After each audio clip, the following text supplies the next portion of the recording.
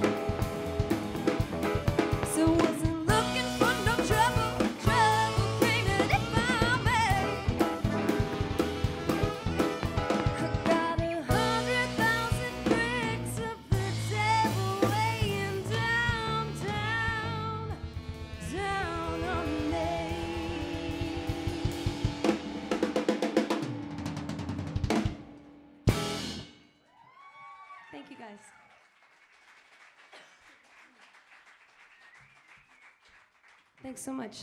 This next one we're going to play is called Hardly Know. And Hardly Know is it's just what it sounds like. It's a song about